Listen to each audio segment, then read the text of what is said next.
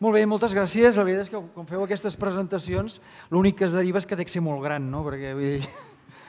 Però molt bé. bé. Us felicito, la veritat, han estat molt bones presentacions. Eh, ha donat una, una, una visió bastant fresca d'una organització que com a ciutadà coneixes molt poc, perquè tot i que jo sóc un gran usuari del transport públic, clar, no, no sé el que passa darrere doncs, de, de les bambalines, i també haig de dir que estic molt impressionat i, i no estic fent la pilota. Jo no havia vist mai un conseller delegat presentant eh, de forma tan eh, eh, diríem, eh, moderna els reptes que tenen les organitzacions, perquè parlar d'adaptabilitat, que és efectivament el punt crític de l'agenda en els propers anys, i d'una forma tan clara, permetem felicitar perquè, de veritat, crec que és molt singular. Jo em passo el dia veient organitzacions i hi ha organitzacions que no, això de l'adaptabilitat ni, ni ho han entès ni pretenen entendre-ho. Uh, jo el que faré és un, és un petit viatge uh, per, per quatre grans conceptes que tenen a veure amb mobilitat. No vull transmetre-us aquí coneixement perquè en sabeu molt més que jo, Uh, per tant, us animo a fer això, un petit viatge sobre coses que estan passant o que passaran i que ens, uh, ens implicaran. Per tant, espero que us ho passeu bé. Eh? No?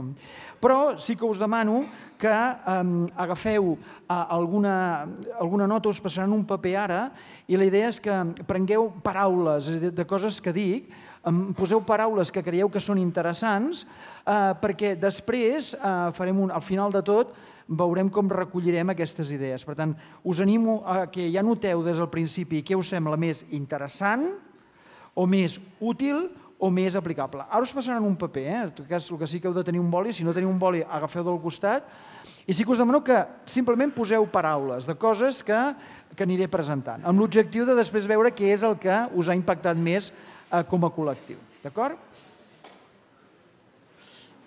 Molt bé. Bueno, com us dic, anem, anem a fer una, una viatge, una visió així molt general sobre eh, el concepte de, de, de mobilitat. El concepte tan ampli, un concepte tan ampli que us haig d'explicar, vosaltres en sabeu molt més, però que comença amb una idea que em sembla que és fonamental, que és la idea de ciutat. Um, no vull repetir-me de coses que ja sabeu, però crec que és molt important entendre que en els propers anys la forma en què els humans eh, evolucionarem la forma en què les societats s'estructuraran és a través de ciutats. Hi haurà moltes més ciutats al món i seran més grans. De fet, l'estadística actual el que ens diu és que podem esperar que un 70% de la població del planeta estigui en eh, ciutats eh, al voltant del 2050 el 2010 va ser l'any en què vam sobrepassar la meitat, és la meitat de la població del planeta ja estava en ciutats, la cosa està avançant molt ràpida, s'està produint a llocs com Àsia i també està passant a Àfrica, i per tant el que tenim és realment una, un creixement molt important de les ciutats del món. És a dir, la forma en què els humans viurem, eh, més que mai, és en forma de ciutats.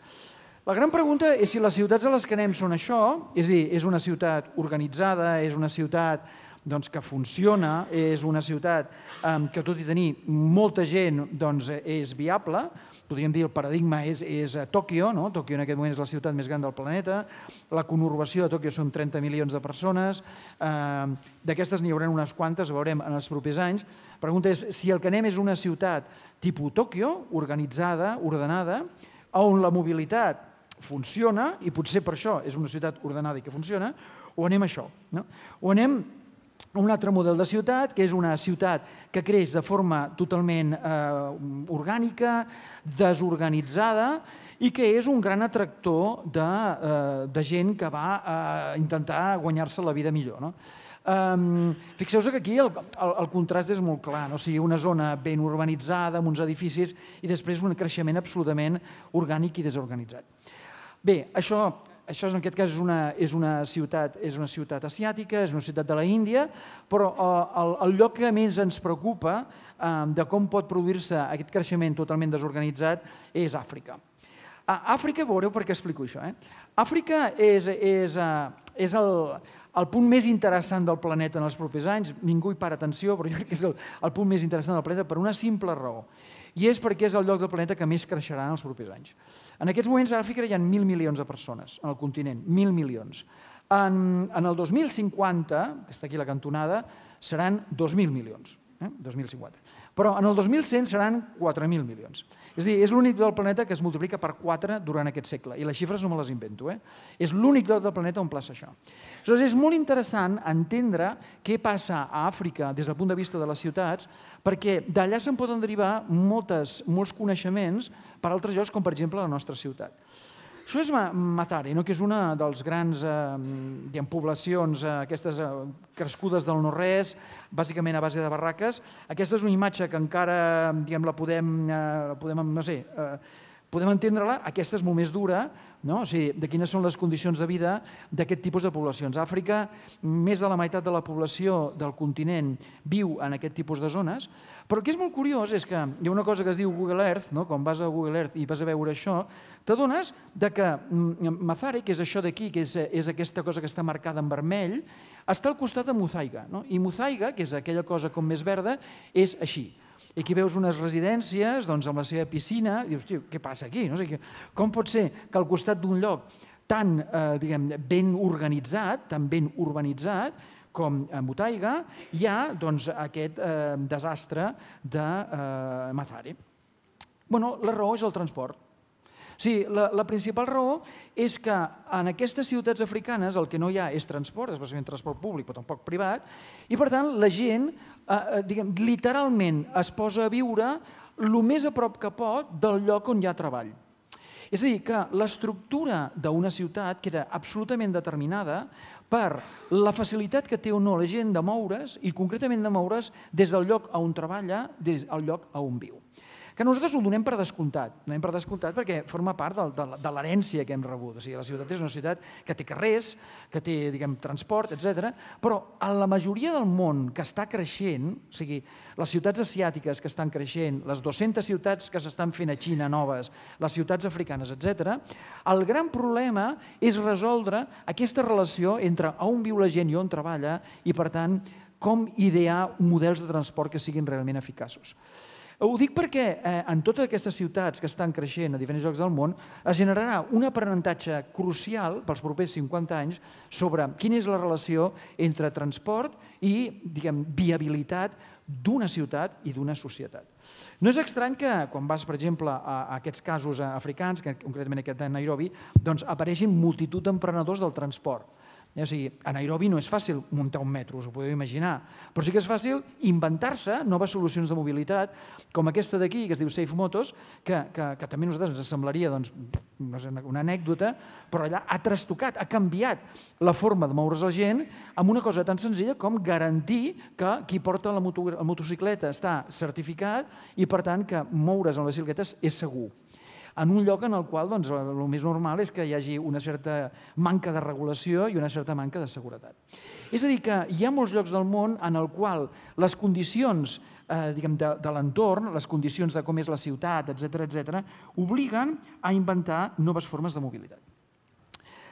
Àfrica és això, però Àfrica també és això. És dir, eh, hi ha llocs d'Àfrica en els quals eh, han entès el que he dit abans, és a dir, que no hi ha societat sostenible ni ciutat que pugui funcionar sense mobilitat, i això és a Addis Abeba, per exemple, és a dir, Etiòpia és un dels països que està creixent més al món, i, i, i bueno, veus això que podria ser qualsevol lloc de, del planeta, però és Addis Abeba, no? o, o això d'aquí, que també veus que hi ha aquí una, unes inversions molt importants, la majoria xines, o la majoria diguem, fonamentades per xinesos, eh, i això és la xarxa de, de metro d'Addis Abeba. És a dir, compte, eh? perquè a tot el món eh, el transport és un element crític, és un element que es considera crític per l'evolució de la societat.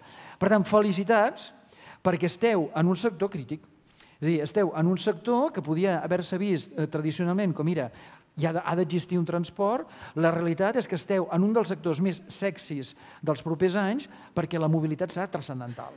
I entendre bé com millorar aquesta mobilitat eh, implica eh, molta intel·ligència, implica molt anàlisi de dades, implica moltes coses que veurem de seguida. Per tant, eh, quan tu vas al món, t'adones que la característica comuna dels llocs del planeta que funcionen és que tenen una bona mobilitat. No? Des de Singapur, que a més, quan veus els mapes del metro tot el món són pràcticament iguals, eh? des, de, des de Singapur fins a Tòquio. De nou, no? Aleshores, Tòquio, si heu estat, Um, clar, és que la, la vida en el transport públic, especialment en el metro, va molt més enllà de moure gent perquè és una veritable ciutat.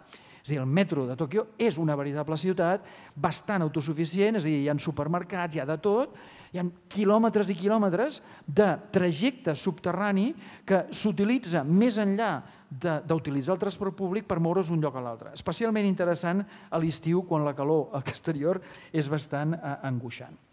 Per tant, la idea és que el transport s'ha convertit, i la mobilitat, sobretot en les ciutats, en un element econòmic fonamental. És a dir, una, una, un element que no és una anècdota, és un element absolutament crític. Un element que, a més, eh, s'està estandarditzant, és a dir, està, eh, unes ciutats estan aprenent de les altres i estem intentant trobar el, la, la millor optimització possible dels recursos amb l'objectiu de fer que aquella societat funcioni. Dit d'una altra manera, no, eh, no és una qüestió de moure gent, és una qüestió de fer que aquella societat funcioni. És dir, si no tens mobilitat, no tens una societat que funcioni i una millor mobilitat el que fa o el que té com a conseqüència és que aquella societat funcioni molt. El gran aprenentatge és eh, com utilitzar aquestes dades dels que abans heu parlat per eh, veure diferents comportaments de la gent. No? Hi, ha, hi ha casos molt, molt, molt interessants. Aquest, per exemple, és el cas de Londres, que és un, un dels casos més, més coneguts i clar, és molt interessant veure doncs, que els patrons de comportament de mobilitat són molt diferents depenent d'on vius. No? I, per exemple, aquí el color blau eh, indica quin és el mitjà de transport favorit de la gent de Londres per anar a treballar, el blau és el cotxe, per tant té bastanta, té bastanta lògica, però el groc és el metro, el, el, el púrpura o el així granat és els trens i el vermell és l'autobús. Sorprèn molt, no? perquè en el cas de, de l'autobús, en el cas de Londres, està molt, molt localitzat, o sigui, la gent que utilitza l'autobús per anar a treballar està en unes zones molt, molt concretes, la gent que utilitza el tren està també en una zona molt concreta, que és concretament al sud, al sud de Londres. Aleshores, l'anàlisi d'això eh, no és simplement per saber-ho, sinó efectivament per predir, per preveure, per redefinir el model de mobilitat. Però el lloc del planeta que serà més interessant els propers anys és, òbviament, Xina, allà és on passen les coses en aquests moments i on passaran. Aquesta és una fotografia d'aquest subcontinent eh, i, clar, el que més sorprèn és que la, la densitat de població i el creixement de les ciutats xines és tan espectacular Eh, aquí teniu, si volen, el, el, el, el, el delta del, de la, del riu Perla, del Pearl River, on ten Shenzhen, que és una ciutat que ha partit de, de no res i que és ja el Silicon Valley eh, d'allà, teniu Hong Kong, teniu Guangzhou, eh, Dongguan, o sigui, tota aquesta conurbació que bàsicament un dels principals problemes, evidentment, és el transport. Si voleu posar-ho d'una altra forma, aquest és un, és un esquema del que es diuen els, els grans clústers de ciutats xinesos, Fixeu-vos les, les, les coses que apareixen. Eh? O sigui, en els propers anys tindrem una gran zona al voltant de, Be de Pequín amb 112 milions de persones, una gran zona al voltant de, de podríem dir, de, de, de, del, del Llancé, o sigui, de Xangai, 152 milions de persones, i al, al voltant de, de Shenzhen, Hong Kong, 60 milions de persones. Clar, això no funcionarà si no hi ha mobilitat. Eh? I, per tant, la, la, en les estratègies econòmiques eh, xineses en aquest moment la mobilitat és una fonamental. Per tant, primera conclusió, anem a ciutats més grans i més denses i són inviables sense una mobilitat molt més eficient. Per tant, de nou, felicitats, perquè estem un sector que en els propers anys la intel·ligència i la imaginació que has comentat es combinaran per idear maneres que no podem ni, ni, vaja, ni, ni, ni sospitar en aquests moments de mobilitat. És a dir, estar molt atents al que passa a la resta del món, algunes de les coses de les quals eh, veurem. Aleshores, estem tots ansiosos per solucions, no? per solucions de mobilitat. I la veritat és que eh, jo no sóc un expert en el tema, en absolut, però eh, he fet algun treball al respecte i bueno, és molt sorprenent veure que efectivament és un, és un camp en el qual la imaginació compta molt. M'agraden molt les presentacions que heu fet, sobretot de l'autobús elèctric, perquè efectivament, o sigui, a curt termini el que es veu és que l'autobús elèctric és eh, la cosa, sabeu eh, per descomptat que un dels líders mundials en aquest moment és Shenzhen, no? a ciutat xina que ja he comentat, en el que tota la flota d'autobusos, en aquests moments són 16.000 autobusos i recentment els 22.000 taxis han estat electrificats. És a dir, és la primera ciutat del món en el qual tot el transport públic, diguem, autobusos i taxis, està absolutament eh, eh, electrificat. Eh, és molt interessant veure que al darrere el que hi ha és, clar, és un model financer totalment diferent del nostre, és, és un model en el que estat i ciutat i també el sector privat han invertit de manera molt important, però en qualsevol cas hem de mirar cap allà, o sigui, hem de mirar què és el que està passant allà i quins són les coses que funcionen i les coses que no. Podria posar aquí moltíssims exemples, què us haig de dir? M'he posat un com podria posar un altre, no? però evidentment el camp de l'electrificació dels automòbils, dels autobusos, és un que generarà una gran quantitat de, de, de, de tecnologia en els propers anys, però també és un sector molt difícil de prendre decisions, perquè m'ha encantat sentir el tema de l'hidrogen, perquè clar, potser acaba sent l'hidrogen, eh? o sigui, ningú pot aquí dir que no. És a dir, hi ha, hi ha, hi ha, els japonesos concretament, moltes empreses japoneses aposten més per l'hidrogen que per un altre sistema. Tant, estem en un, en un camp de molta incertesa, però el que sabem és que passaran coses. I aquestes coses poden ser de tot tipus, no? o sigui, poden ser idees com aquestes, eh, que també coneixeu, no? d'aquests eh, aquests mini-autobusos absolutament automatitzats, que, que van sols i que tenen eh, la, la, la possibilitat de, també de respondre a una demanda puntual que apareix en un determinat moment, o pot ser això. És a dir, potser resulta que el futur és un altre tipus d'automòbil.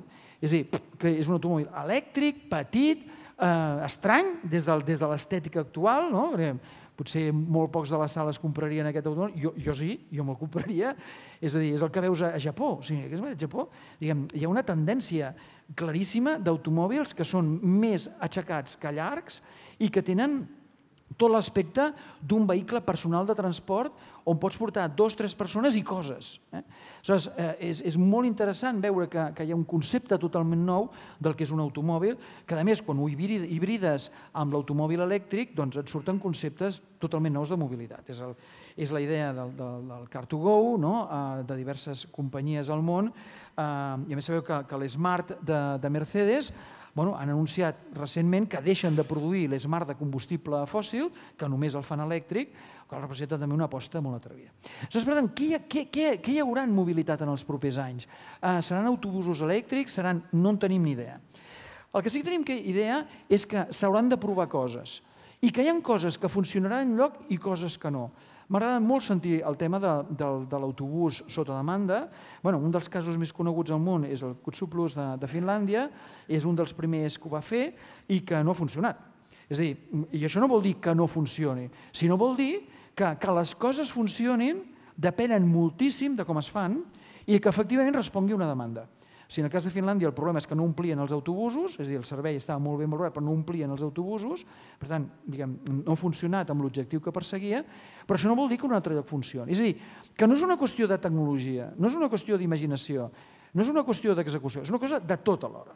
I per tant fa molt més difícil a innovar, perquè no és una qüestió de, de simple prova i error, sinó que és una qüestió d'enganxar. Per exemple, és molt curiós veure que algunes ciutats eh, sud-americanes la solució és aquesta. Sigui, la solució és una cosa insòlita, no? que, que en les nostres ciutats diries, hòstia, doncs aquí... Per què? Si us fixeu molt bé, la raó està en el propi vídeo, que és, bueno, és una zona tan densa i tan difícil de tirar alguna cosa que posar una pilona és el més senzill. No? O sigui, posar una pilona i aleshores ha de posar un, un sistema de transport. No? Aquest és el cas de, de Mèxic, però moltes ciutats eh, diguem, sud-americanes doncs, tenen aquesta solució. O sigui, que, per tant, el que ve és, no sabem molt bé. El que sí sabem és que una millor mobilitat requerirà innovar sistemàticament.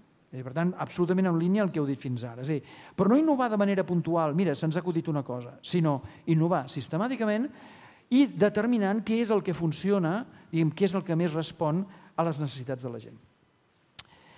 No puc no eh, anar-me'n una mica d'estudi de, no? i presentar-vos eh, coses que podien semblar molt boges i que, i que resulta que cada vegada ho són menys. No? O sigui, mm, fa uns anys presentar això doncs, hagués sigut, ostres, i a més en un context de mobilitat, bueno, aquest, aquest home que s'ha pres, no?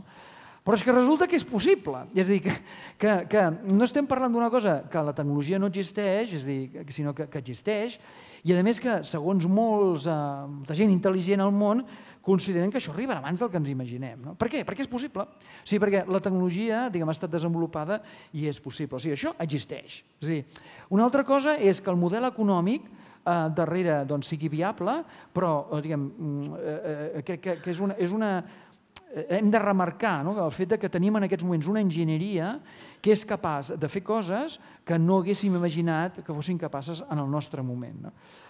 De fet, vull ensenyar-vos un exemple que em sembla un dels més curiosos, perquè a vegades, aquest és un exemple xinès, no? que és els líders mundials en, en drons convencionals, Uh, però sí molt interessant veure que a Europa hi ha també moltes experiències. Per exemple, una de les més curioses és el Lilium. El Lilium és un, és un vehicle d'aquests de, de terratge i enlairament uh, vertical, um, que, que a més quan... Perdó,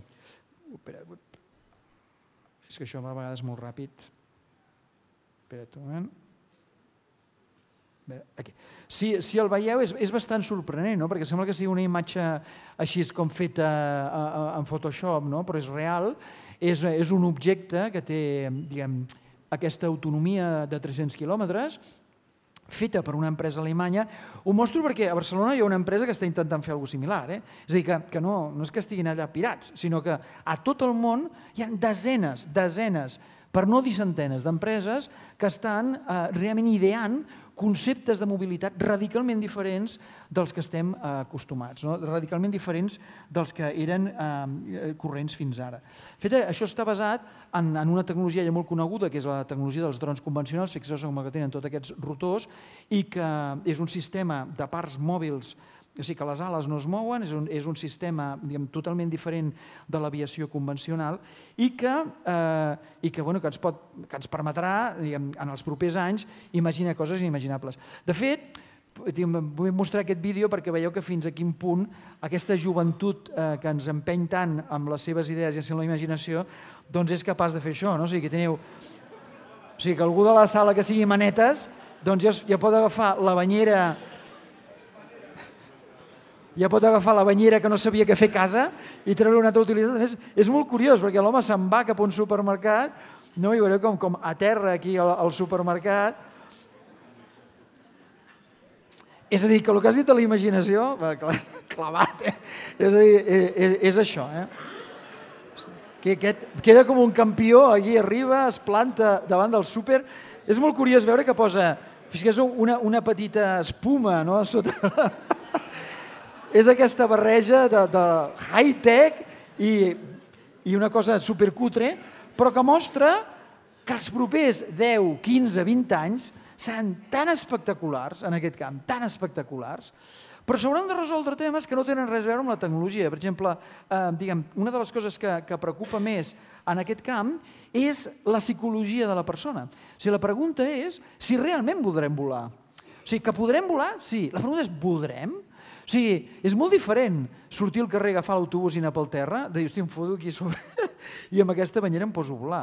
És a dir, que les qüestions més interessants en els propers anys seran qüestions que tindran més a veure en l'adaptació de la gent a nous models de mobilitat que no a eh, la pròpia tecnologia. És a dir, que aquí és on es barreja la psicologia i la tecnologia. Però vull acabar aquesta segona part amb, amb, una, amb un apunt de que crec que no tenim molta idea de coses que passaran o potser cosa, passaran coses que no ens imaginem perquè són massa senzilles. Perquè potser, per exemple, resulta que el futur de la mobilitat a les ciutats és això. Si resulta que el futur consisteix en posar moltes més passarel·les als carrers, Eh? I, i, I això ho veus en alguns llocs del món, o sigui, sobretot en grans infraestructures com els aeroports. Els grans aeroports del món diguem, són inviables des del punt de vista de mobilitat de la gent si no tenen això, però això ho comences a veure al carrer. És a dir, Hong Kong, eh, diguem, una part important de, de la ciutat, diguem, tu et mous a través de passarel·les. És dir, I per tant, és, una, és un altre concepte. No és un autobús, no és un metro. Qui no ens diu que en el futur una part important de la mobilitat de la gent serà en superfície i amb unes infraestructures noves com aquests, com veieu, aquests, eh, aquesta mena de pòrtics, això, això és Jakarta, eh, eh, perquè, perquè part de la mobilitat, especialment diríem, a un quilòmetre de distància eh, és a través de passarel·les. Que per ser molt curiós que els autobusos són pràcticament diguem, el mateix color corporatiu que el, que el que tenim aquí. Bueno, algunes ciutats ho estan investigant, aquest és un cas de Vitoria, que estan diguem, explorant. A Barcelona tenim, evidentment, algunes, alguns ascensors, algunes eh, zones allà diguem, al costat del, del Parc Güell, etc. Però dir, no volia acabar aquesta part de, de la idea d'imaginació sense posar que, que potser també hem d'explorar amb altres solucions com poden ser les persones.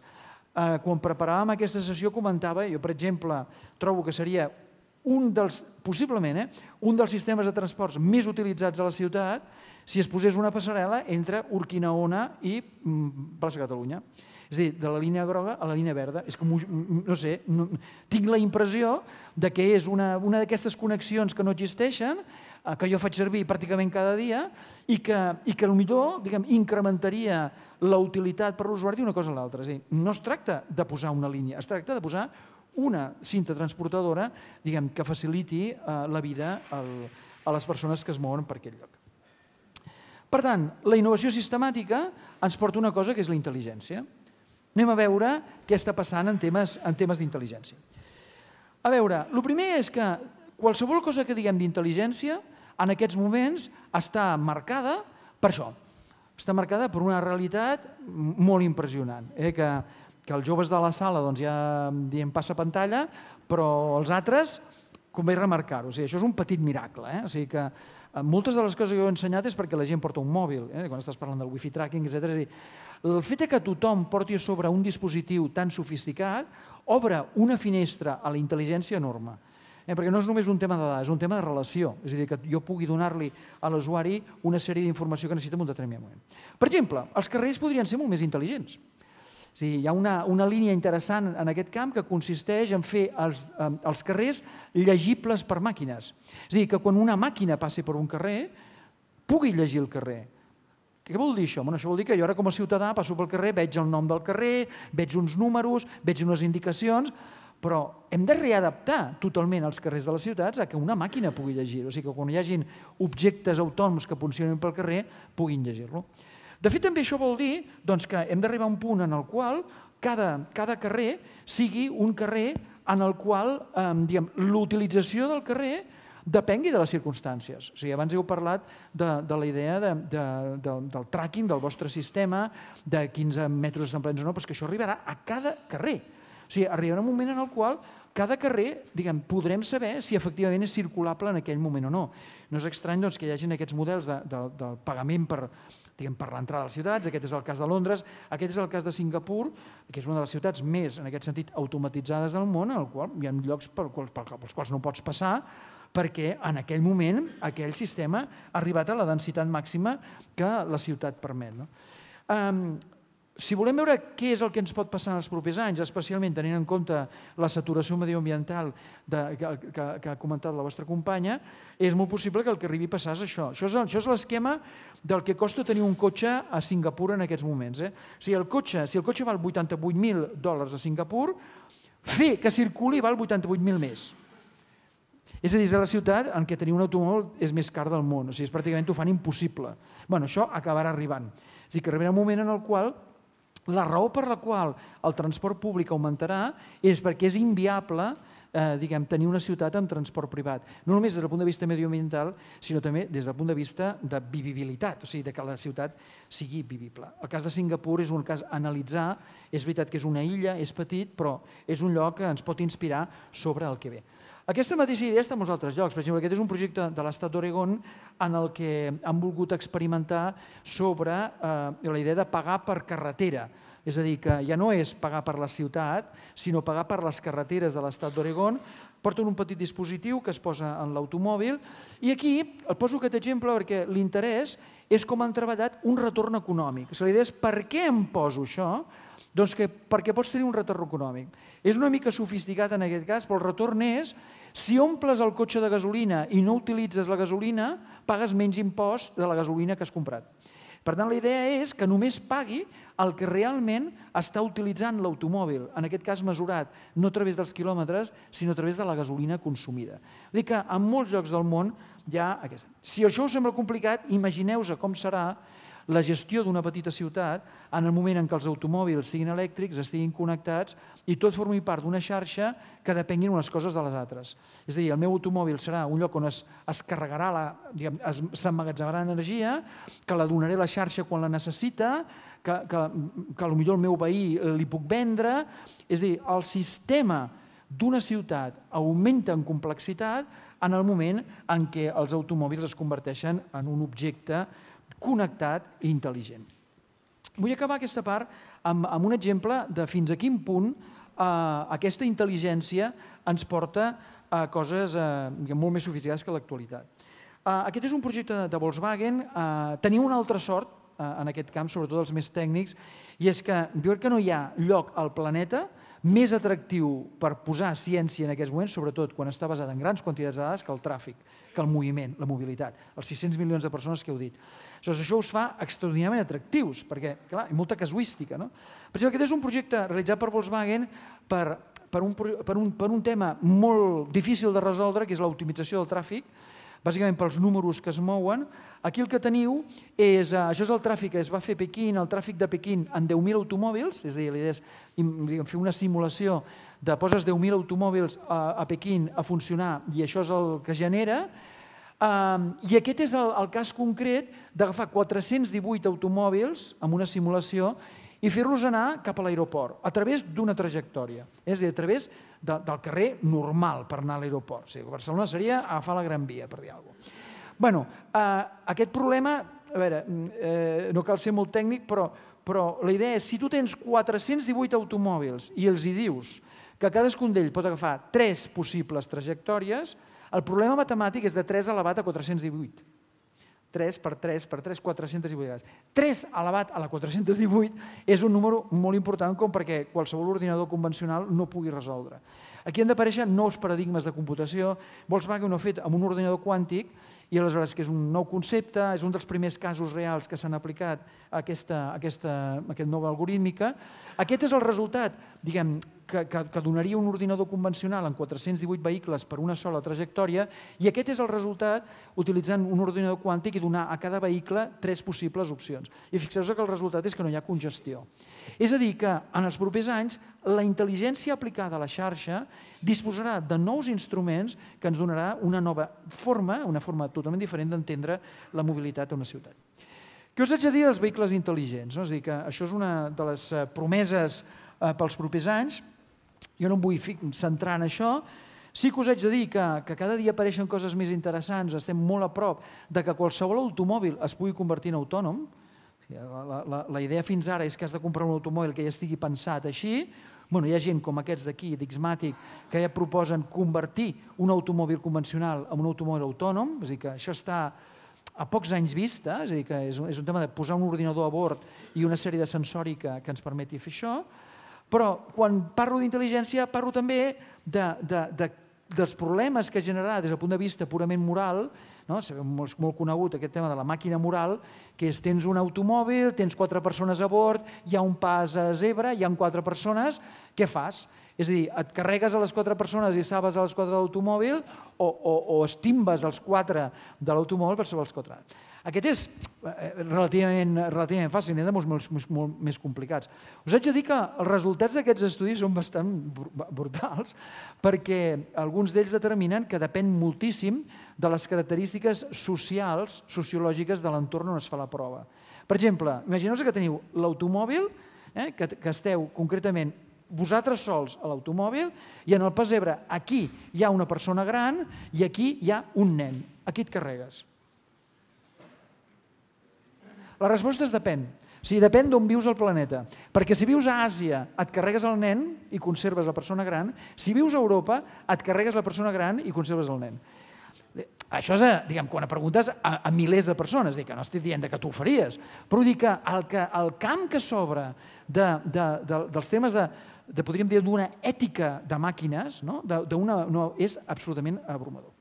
I per acabar aquesta idea també de la intel·ligència, us vull mostrar com hi ha moltes coses a fer que no tenen a veure amb les màquines, sinó amb l'optimització dels sistemes. Aquest, per exemple, és una startup eh, que va néixer a Barcelona, eh, és, ho trobo sensacional, es basa en la idea de com agilitar el, el, la mobilitat dels camions de transport permetent que els conductors dormin cada nit a casa seva.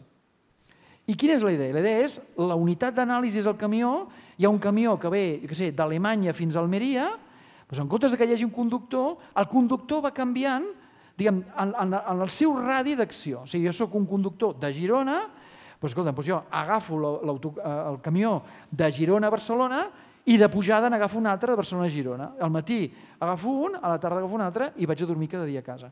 Aquest tipus d'optimització de la xarxa en aquest cas de la xarxa de transport, és un exemple del que ens imaginem en els, en els propers anys.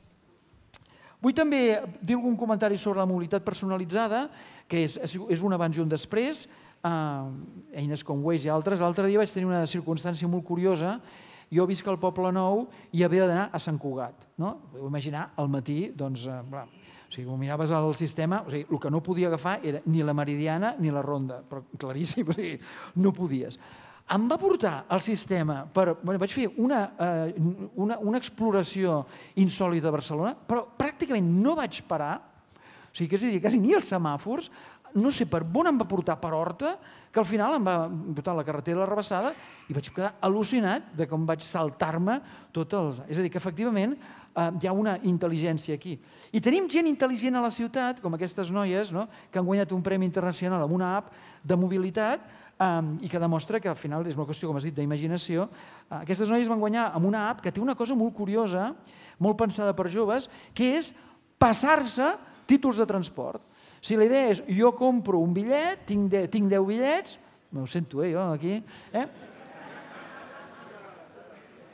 La idea és, jo tinc un bitllet, jo tinc un bitllet, tinc 10, tinc 10 passis, te'n passo un. Per què? Per què? Perquè anem junts al metro però tu surts abans que jo. És a dir, que la idea és que hi ha moltes possibilitats d'aplicar això. Vull acabar amb, eh, amb, una, amb una idea del que es diu Internet of Mobility, que és tot un concepte nou. Aquesta és una startup també que va néixer a Barcelona, que es diu IOMOB, i que eh, diguem, hi ha molta gent que està perseguint aquesta idea de la mobilitat eh, absolutament sense fronteres, és a dir, que, que tu diguis on vols anar i que t'organitzi tot el sistema. Tot això està basat en tecnologies blockchain, que són les que garantitzen que efectivament es realitzen uns pagaments, etc etc. Per tant, no, no podem parlar d'intel·ligència i mobilitat sense parlar d'aquesta idea. I això ens porta claríssimament a l'última idea, que és la idea de més intel·ligència, més tecnologia, més ciutats, etc etc. però al final la clau serà més valor al ciutadà. Paraula valor és una paraula que creixerà en valor en els propers anys, però hem d'entendre molt bé què vol dir això, i aquest és la, aquesta és la revolució que ve, de realment eh, reentendre que el valor és una qüestió de percepció humana, és una qüestió molt difícil d'objectivar perquè els humans són realment, som realment estranys. Comencem per dir que, que en, en, el, en, en el món hi ha noves tribus, és a dir, hi ha nous grups de persones que tenen nous usos. Ja s'ha parlat dels millennials, no? és, és clarament un dels grans grups. A vegades parlem dels millennials com si fossin allà una anècdota. Bueno, en aquests moments els millennials, els millennials són el, la, la part més important dels consumidors del món, o sigui, ja no som els de la meva edat, ni els molts petits, són els millennials. O sigui, la, la, la gran massa de consumidors són millennials. De fet, en llocs com Xina o, o la Índia, en els dos llocs són 400 milions de persones, és a dir, i per tant, entendre el món des dels millennials eh, és algo que és necessari, no és una anècdota. I per exemple, els millennials, doncs, que poden reflectir-se molt bé en aquesta imatge no, del passat Nadal, Crec que està tot aquí, la idea del selfie, la idea de tot l'orgànic, la idea de la, de la mobilitat, de l'e-commerce, etc etc. Resulta que aquesta gent doncs, no compra cotxes, no? És, és, és una cosa. Bueno, no ho sabem encara del tot, eh? però sembla mostrar les estadístiques actuals que els millennials doncs, eh, no compren els cotxes. Però fixeu-vos el títol, el títol, eh, els fabricants d'automòbils no saben per què. Aquesta és la clau. La clau és que eh, diguem, no estan comprant automòbils, però no sabem exactament per què. Eh, Interpretar-ho, determinar-ho, serà realment eh, molt, molt important. Imagineu-vos els següents, els que venen després, que són la generació Z.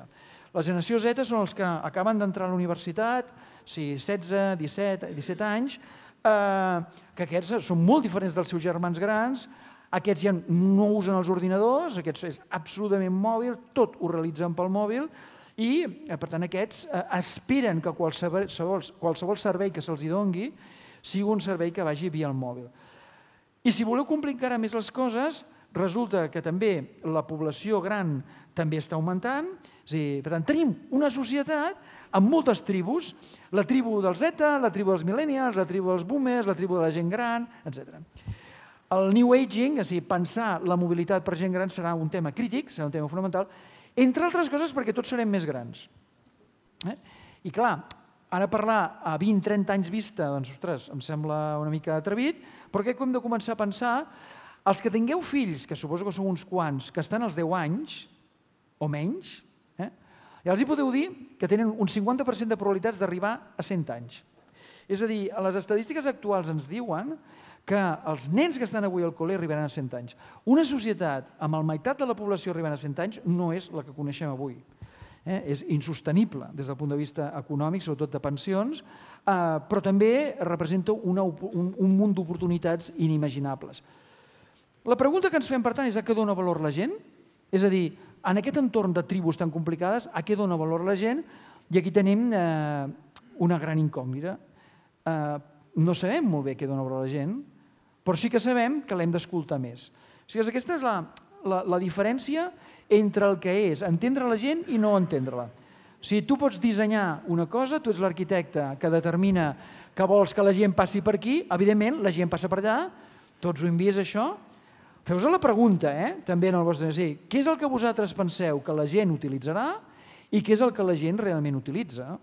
Eh, jo he vist molt a prop d'això, eh? eh, això ha estat 25 anys de, de rellotge, de, de, de, calendari, sense asfaltar i ara fa poc han asfaltat. O sigui, l'Ajuntament de Barcelona ha trigat 25 anys a entendre que la gent passava per aquí. Per què? Perquè l'arquitecte havia dit que havies de passar per allà. És, és una imatge molt, molt tonta, però és una imatge molt important per entendre que avui en dia ja no podem proposar una cosa a la gent, sinó que hem de llegir el que la gent fa. Aquest és un canvi transcendental. I la gent és molt rara, la gent són molt raros. Per exemple, quan tens de tot ja a casa, o sigui, quan ja tens tots els objectes a casa, algú et proposa que et posis una caixa de caudals, dius, mira, és l'últim gadget que et falta, de colors, a més. O sigui, és allò que penses, a veure... Mm, però m'enteneu? O sigui, que, que hi haurà gent que dirà, mira, per fi una caixa de caudals de color. O algú, per exemple, dirà, mira, per fi s'han inventat la bicicleta definitiva, no? o sigui, una bicicleta que doncs, em permet estendre-la eh, diguem d'una manera molt senzilla per poder posar doncs, la bossa que mai puc posar. És a dir, la, la quantitat de conceptes, d'idees eh, que poden augmentar el valor percebut per la gent és, eh, i no, es pot, no es pot mesurar, és incommensurable. Però el que sí sabem avui és que les percepcions de valor de la gent s'organitzen en una sèrie de, de nivells al voltant d'una piràmide que és molt coneguda ja, que és la piràmide que es diu dels elements de valor. Els que esteu al final no ho llegireu, no cal, us diré que és una piràmide molt semblant a la piràmide de Maslow, eh, que és la dels, diguem, les necessitats bàsiques dels humans, i que bàsicament ens diu que quan tu dones un valor a una persona busca quatre coses, busca una funcionalitat, redueix-me l'esforç, redueix-me el temps, redueix-me el cost, fes-m'ho fàcil, etc etc. Una capa emocional, fes-m'ho divertit, fes-m'ho memorable, fes-m'ho compartible. Una capa de canvi de vida, motiva'm, emociona'm, jo què sé, eh, fes-me partícip d'un col·lectiu, i una altra capa de dalt de tot, totalment transcendental. Dius, hosti, la capa transcendental és molt difícil. El medi ambient és transcendental. O sigui, quan algú el convences de que utilitzi un medi de transport, no perquè és útil, pràctic, funcional, sinó, de més, perquè l'ajudes a contribuir a un valor tan suprem com diguem, millorar les condicions eh, diguem, del planeta, estàs venent-li un servei absolutament transcendental. Aleshores, en, en, entendre aquesta, aquesta piràmide és cada vegada més, eh, més important. No? Per exemple, eh, i està ple de petites anècdotes, no? per exemple, de nou, si tu te'n vas a Àsia, aquest és el cas de, de Tòquio, ostres, doncs, doncs t'indiquen on està el teu vagó. Clar, això està pensat per, per, per, per línies d'alta velocitat, no? però sí, tu donen el bitllet, diuen estàs al vagó 3, doncs saps on està el vagó 3. Però saps on està el vagó 3? D'un tipus de tren i el vagó 5 d'un altre tipus de tren. Pregunta, mm, o sigui, és el, hi ha el detall extrem, no? Fixeu-vos aquest altre. És a dir, són elements de valor, aquest és eh, baixos o puja, o sigui, no pots pujar però pots baixar. O sigui, un conjunt de senyalètica, la senyalètica és molt important per la percepció de valor, encara que en alguns casos és difícil d'entendre, no? com per exemple aquest aquí que sembla que els aliens han arribat i se t'enduen els nens, no? I, i per tant, vés amb compte que aquí hi ha aliens. Dic que... Però també vull explicar un cas eh, molt divertit, eh, de com sempre parlem d'Àsia com el gran, la gran solució, fins que arribes a això, no? Si arribes a un tren, a una ciutat japonesa, has de comprar un bitllet, tu quedes mirant i ostres, sí que és veritat que hi ha alguna lletra per allà, eh, absolutament perdut. És a dir, que tenim molta feina a fer tots. Eh? L'anècdota d'aquest cas és que vaig aconseguir un bitllet simplement apretant el botó que estava més apretat. O sigui, el botó... El botó que estava més gastat I tu va sortir el bitllet. O sigui que, que aquí vaig, a, vaig a encertar. És simplement un exemple de eh, que la percepció de valor, el que es diu l'equació de valor, és a dir, quins són els elements que una persona espera, no és una sola cosa. És fes-m'ho fàcil, fes-m'ho barat, estalvia'm temps, emociona'm, fes-me compartir-ho, és un conjunt de coses. És un conjunt de coses tan senzill a vegades com que la raó per la qual algú utilitza una bicicleta en una ciutat no és només per salut, no és només eh, per, per economia, sinó per moltes altres coses. I, per exemple, en concret, molta gent no utilitza la bici a la ciutat perquè no sap on deixar-la. És a dir, molts descarrils bici, fantàstic, però el problema és, i on el deixes? Jo he vingut avui aquí amb bicicleta elèctrica. Aleshores, clar, el problema és on la deixava. És a dir, que a vegades pensem que el valor és un i el valor és un altre. La gent no utilitza més bicicleta, sobretot gent de determinada edat, amb bicicletes que costen molts diners, perquè no tens una infraestructura d'on deixar-la. O, per exemple, la gent deixa d'utilitzar un automòbil a una ciutat en el moment que elimines totalment les places de pàrquing. És el cas més notable a Europa, que és Friburg, Alemanya, que és la capital, podríem dir-ne, del moviment verd d'Europa. Hi ha molts estudis fets sobre com ha canviat el patró de comportament de la gent a una ciutat com Friburg, molt més verd, simplement perquè s'han eliminat les possibilitats alternatives de tenir un automòbil. Acabo amb aquestes dues imatges. Fixeu-vos, aquí és la imatge de pregunta, eh? per què la gent que utilitza el tren per anar d'un lloc a l'altre des del sud-est d'Anglaterra, que és aquell mapa que heu vist, per què està deixant d'utilitzar el tren? O les autoritats de transport s'ho estan preguntant. No hi ha una resposta clara, però fixeu-vos el, el titular, diu, possiblement les, um, diguem, que el, el cost ha augmentat i que després el servei no és fiable, o sigui, aquests dos fets, que són claríssims en la piràmide, porten al fet que la gent descobreix que pot treballar a casa. O sigui, és molt curiós. No és allò de com que puc treballar a casa no utilitzo el transport, sinó perquè el transport no funciona, em quedo a treballar a casa i, per tant, no utilitzo el transport. O sigui, una veritable crisi del sistema, conseqüència de no haver entès què és el que la gent percep com a valor. No? I aquest altre que he posat, que és una startup que també treballa amb vosaltres, perquè m'ha agradat molt el tipus de ajudem els operadors i els ajuntaments a entendre el comportament dels usuaris. De... Efectivament, tot això anirà d'entendre. Per tant, ja acabant, hi han dues paraules claus pel futur. Una paraula clau és sensors, que no són dels que heu parlat, òbviament també, no són els sensors de la màquina, sinó els sensors de la gent. És dir, com sensoritzem què és el que la gent vol, fa, necessita? Eh? Serà crític determinar quins són els sensors adequats, d'aquests 11.000 indicadors que heu dit, uns quants tenen a veure amb la persona, per poder respondre àgilment. Tant la metàfora del futur es tradueix en dues paraules, sensoritzar i respondre.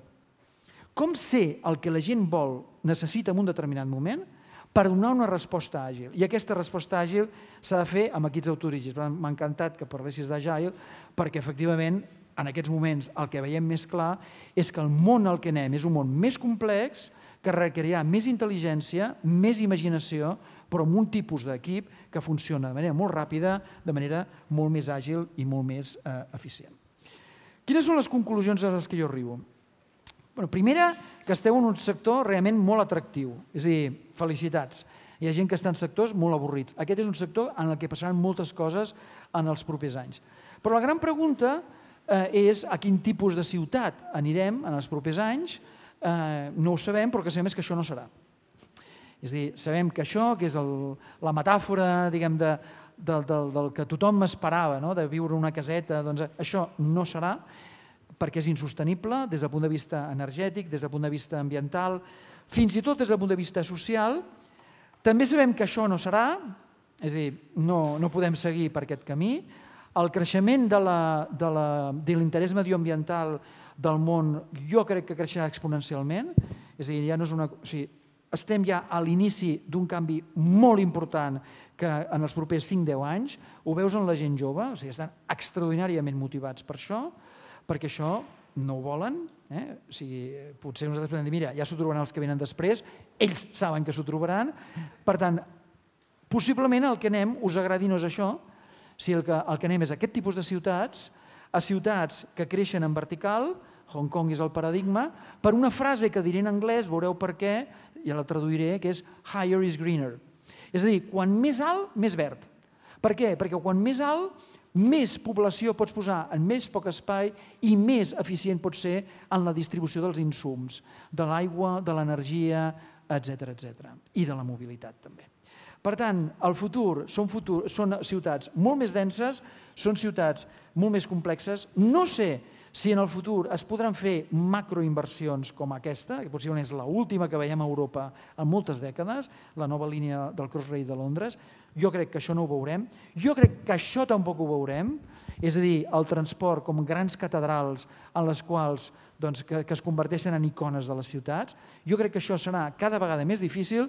La gran pregunta és què passarà amb les ciutats, si serà això, si serà un conjunt d'edificis, un conjunt d'asfalt, o si efectivament aquesta generació, molt ben reflectida, com heu posat abans, per la Greta Thunberg i molts altres, el moviment de cada divendres en moltes escoles de tota Europa sortint els nanos al carrer reclamant un món més, eh, diguem, un món millor, per tant, unes ciutats més vivibles, jo crec que aquest serà e, és el que ens ha de centrar absolutament a tots, com aconseguim unes ciutats més vivibles a través d'un millor sistema de mobilitat. Espero que hagi estat d'utilitat, en qualsevol cas m'he permès anar-me'n per les tangents i donar-vos no sé, uns, uns exemples a fora de l'experiència quotidiana. Molt bé, moltes gràcies.